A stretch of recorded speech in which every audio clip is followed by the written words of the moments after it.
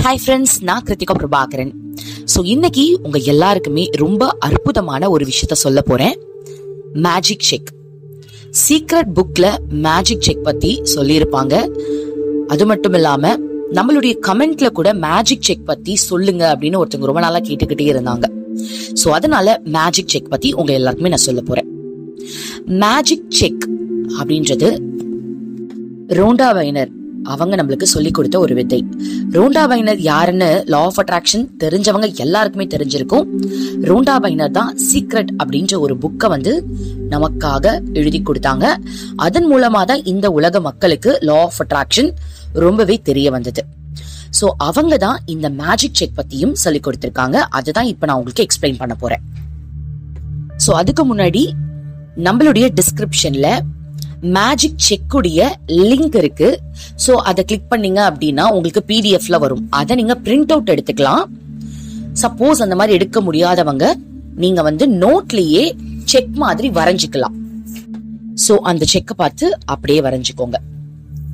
இந்த magic check மூலமா நமக்கு தேவையான ஒரு அமௌண்ட்டை நம்ம அடைய போறோம். ஸோ இதுக்கு உங்களுக்கு எவ்வளவு அமௌண்ட் வேணும் அப்படின்றத நீங்க முதல்ல முடிவு பண்ணணும். அந்த அமௌண்ட் உங்க மனசு ஏத்துக்கிற அளவுல இருக்கணும். சில பேருக்கு டென் லேக்ஸ் அப்படின்னா மனசு ஏத்துக்கும். சில பேருக்கு ஒன் லேக் அப்படின்னா மனசு ஏத்துக்கும். சில பேருக்கு ஒன் க்ரோ அப்படின்னா மனசு ஏத்துக்கும். ஏன் மனசு ஏத்துக்க கூடிய ஒரு அமௌண்ட் எடுத்துக்கங்க அப்படின்னு சொல்றேன்னா அப்பதான் உங்க மனம் அதை முழுமையா நம்பும். ஈஸியா உங்களால மேனிஃபெஸ்ட் பண்ண முடியும். இப்போ ஒன் லேக் எனக்கு கிடைக்கும் அப்படின்னு நினைக்கிறவங்களுக்கு திடீர்னு ஒரு கோடி அப்படின்னு போட்டோம்னா மனசு நிறைய கேள்விகள் கேட்க ஆரம்பிக்கும். நிறைய மேனிஃபெஸ்டேஷன் பண்ணியிருந்தாங்கன்னா கண்டிப்பா அந்த மனம் கேள்வி கேட்காது. பட் இப்பதான் நம்ம பிராக்டிஸ் பண்ணிட்டு இருக்கோம் சோ கொஞ்சம் கொஞ்சமா தான் நான் கத்துக்கிட்டு இருக்கிறேன் அப்படின்றவங்க உங்க மனசு ஏத்துக்கிற பணத்தை நீங்க அதுல போட்டா மட்டும்தான் உங்களால நிம்மதியா மேனிஃபெஸ்ட் பண்ண முடியும். சோ இப்ப மேஜிக் செக் எடுத்துக்கோங்க. அந்த மேஜிக் செக்ல டேட் அப்படின்ற இடம் இருக்கு இல்லையா? அந்த இடத்துல எந்த நாள் இந்த பணம் உங்களுக்கு கிடைக்கணும்னு நினைக்கிறீங்களோ அந்த டேட்டை போட்டுருங்க. சப்போஸ் டேட் போடுறதுக்கு எனக்கு விருப்பம் இல்ல அப்படின்றவங்க நவ் அப்படின்னு போட்டுக்கலாம். அதாவது இப்ப அப்படின்றதுக்கு அர்த்தம். இல்லனா அந்த டேட்டை யூனிவர்ஸ் நான் ஒப்படைச்சிட்டேன் அப்படின்றவங்க யூனிவர்ஸ் அப்படின்னு போட்டுக்கலாம். சரிங்களா?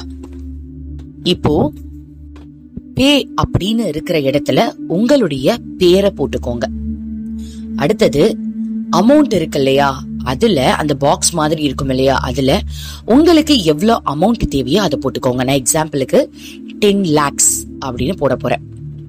அதுக்கு கீழே இருக்கிற அந்த வேர்டிங்ஸ்ல எழுதுவோம் இல்லையா? அதுக்கு கீழே இருக்கிற லைன்ல அந்த அமௌண்ட்டை வேர்டிங்ஸ்ல எழுதுக்கோங்க. டென் லேக்ஸ் ஒன்லி அப்படின்னு. ஓகேவா கீழே சைன் அப்படின்னு இருக்கிற இடத்துல தி யூனிவர்ஸ் அப்படின்னு போட்டுக்கோங்க. சோ யூனிவர்ஸ் உங்களுக்கு அன்பளிப்பா டென் லேக்ஸ் தர போறாங்க அப்படின்றதுதான் மீனிங் ஸோ இந்த மாதிரி அந்த மேஜிக் செக்ல எல்லாத்தையுமே டீட்டெயில்டா ஃபில் பண்ணிட்டு இந்த மேஜிக் செக்கை நீங்க எந்த இடத்த அடிக்கடி பாக்குறீங்களோ அந்த இடத்துல ஒட்டி வச்சுக்கோங்க. இந்த மேஜிக் செக்க நீங்க நிறைய காப்பீஸ் கூட எடுத்துக்கிட்டு பாக்குற இடத்துல எல்லாம் ஒட்டி வைக்கலாம். அதாவது எந்த இடத்தெல்லாம் நீங்க அடிக்கடி பாப்பீங்களோ அந்த இடத்துல எல்லாம் ஒட்டி வச்சுக்கலாம். இல்ல நான் ஒரே ஒரு இடத்துல ஒட்டி வச்சாக்க எனக்கு- எனக்கு ஓகே அப்படின்றவங்க ஒரே இடத்துல ஒட்டி வச்சுக்கோங்க. எக்ஸாம்பிள் சொல்றேன்.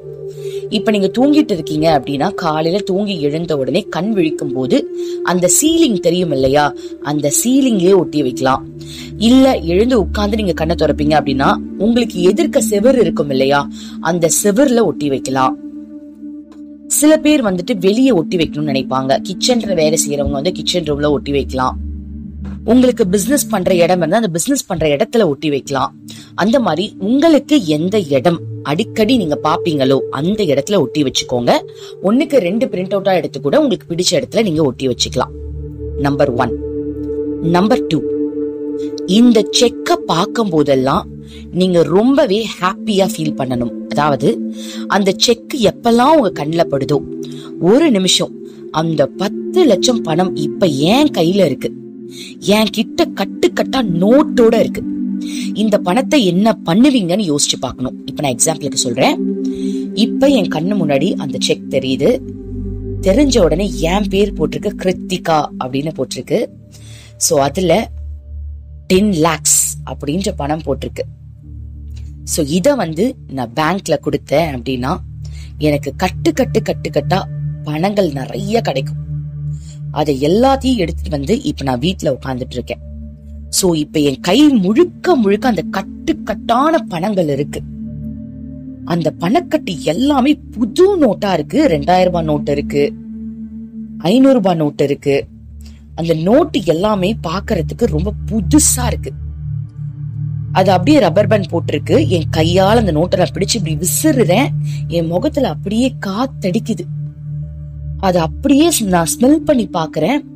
அதோடைய புது நோட்டுடைய வாசம் அப்படியே சூப்பரா இருக்கு. இவ்ளோ பணம் இப்ப என் கையில இருக்கு. இந்த பணத்தை வச்சு நான் என்ன பண்ண போறேன்? முதல் நாள் நீங்க அதை பாக்குறீங்க அப்படின்னா பணம் கையில இருக்கிற மாதிரி யோசிக்கலாம். அடுத்தடுத்து நீங்க பார்க்கும்போது அந்த பணத்தை நீங்க எப்படி பயன்படுத்துறீங்க அப்படின்னு யோசிச்சு பார்க்கலாம். இவ்ளோ பணம் இருக்கு நீங்க வெளியே போறீங்க. என்ன வாங்குவீங்க? அந்த பத்து லட்சம் பணத்தோட இப்ப நீங்க வந்து ஒரு கார் ஷோரூம் போறீங்கன்னா உங்களால தைரியமா அந்த காரை வந்து நிறைய கார்ஸை வந்து நீங்க பார்க்க முடியும் டெமோ போக முடியும். சோ அந்த காரை வந்து நீங்க வந்து புக் பண்ணி இந்த பணத்தின் மூலமா வாங்க முடியும். இந்த பத்து லட்சத்தை வேற என்னெல்லாம் பண்ணலாம் அப்படின்னு நீங்க உங்களுக்கு தேவையான விஷயங்களை நினைச்சு பார்க்கலாம். சரிங்களா? நம்பர் ஒன் செக்ல நம்மளுடைய டீட்டெயில்ஸ் பிளஸ் எவ்வளோ அமௌண்ட் வேணும்னு எழுதணும். நம்பர் டூ நம்ம பார்க்குற இடத்துல அடிக்கடி கவனிக்கிற இடத்துல அதை ஒட்டி வைக்கணும். நம்பர் த்ரீ அதை பார்க்கும் போதெல்லாம் அந்த பணம் இப்ப இருந்தா நம்ம எப்படி அனுபவிப்போம் அப்படின்ற ஒரு சந்தோஷ உணர்வு. அந்த பணம் இருக்கிற மாதிரி அனுபவிக்கிற அந்த உணர்வை வெளியே கொடுக்கணும். இதுதான் நன்றி உணர்வுன்னு சொல்லுவாங்க. சோ அந்த பணத்தை உணர்ந்து இரு கையில இருக்கிற மாதிரி உணரலாம். அந்த பணத்தை வச்சு சில பொருட்களை வாங்குற மாதிரி உணரலாம். எப்படி உணர்ந்தாலும் யூனிவர்ஸ்க்கு கிளியரா புரிஞ்சிடும் இந்த மூணு பாயிண்ட்ஸையுமே நீங்க ஒரு 21 ஒன் டேஸ்க்கு கண்டினியூ பண்ணுங்க. நிச்சயமா 21 ஒன் டேஸ்க்குள்ள நீங்க நினைக்கிற அமௌண்ட்டுக்கான ஆப்பர்ச்சுனிட்டிஸ இந்த பிரபஞ்சம் முதல்ல கொடுக்கும். அந்த ஆப்பர்ச்சுனிட்டிஸை நீங்க புடிச்சிட்டீங்கன்னா நிச்சயமா நீங்க ஆசைப்பட்ட அந்த அமௌண்ட் உங்க கைக்கே வந்து சேரும். ஆப்பர்ச்சுனிட்டிஸ் அப்படின்னு நான் மென்ஷன் பண்ணது. நீங்க பிசினஸ் பண்ணியிருந்தீங்கன்னா அந்த பிசினஸ்ல சில ஐடியாஸ் உங்களுக்கு கிடைக்கலாம். அதன் மூலமா நிறைய வருமானம் வரலாம். அந்த ஐடியாவை ஆப்பர்ச்சுனிட்டின்னு சொன்னேன். சப்போஸ் நீங்க வந்து வீட்டில் இருக்கிற பர்சனா இருந்ததுன்னா பிசினஸ் செய்யறதுக்கான ஆப்பர்ச்சுனிட்டியே வரலாம். நீங்க ஒர்க் பண்ற பர்சனா இருந்ததுன்னா உங்களுக்கு ப்ரமோஷன் கிடைக்கலாம். இல்ல ரொம்ப நாள் உங்களுக்கு வர வேண்டிய அமௌண்ட் எதன் மூலமாவது வரலாம். இந்த மாதிரி உங்களுடைய செக்ல இருக்கிற அந்த அமௌண்ட் எந்த ரூபத்திலையாவது உங்களை வந்து அடையும் ஓகேவா ஸோ இந்த ப்ராக்டிஸை யாரெல்லாம் பண்ண போறீங்க அப்படின்றத கமெண்ட்ல போடுங்க. நிச்சயமா கூடிய சீக்கிரம் நீங்க ஆசைப்பட்ட பணம் உங்க கைக்கு வரப்போகுது. ரொம்ப நன்றி. Thank you thank you thank you universe